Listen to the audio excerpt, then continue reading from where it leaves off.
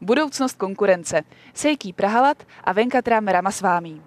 Kniha zaměřuje pozornost na zásadní proměnu vztahů zákazníků a firem.